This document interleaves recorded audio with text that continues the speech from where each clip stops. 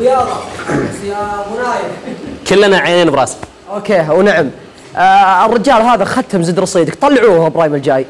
والله إذا وافقتوا كلكم كذا يا مرحبا. ما نخاف من ما شاء الله ما شاء الله.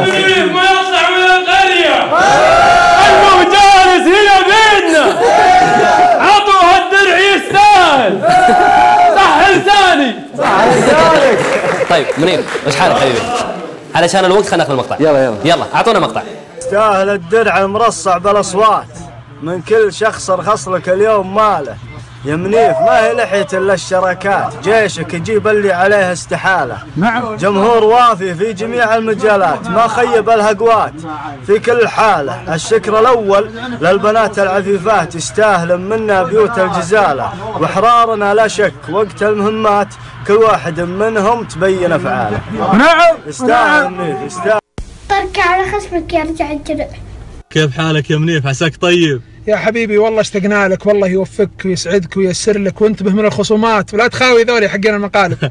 بس يا منيف أنا لزوم أتواصل مع أبو كاتم في مقاطع قديمة لازم يشوفها. الله يعينك عاد الارشيف كله عند أبو عارف. الله يوفقك يا حبيبي الله يوفقك. وختامها بقول يا منيف تدري وش أحلى شيء؟ بدخولك. لاشتقت لك رحت للشاشة وراعيك. تستاهل بالتوفيق حبيبي. تستاهل كل خير وبالتوفيق وفالك الأول إن شاء الله. راسي والله على راسي والله. أربع أشخاص وش تعلق لهم؟ باختصار الأول صح الله لسانك وبيض الله وجهك.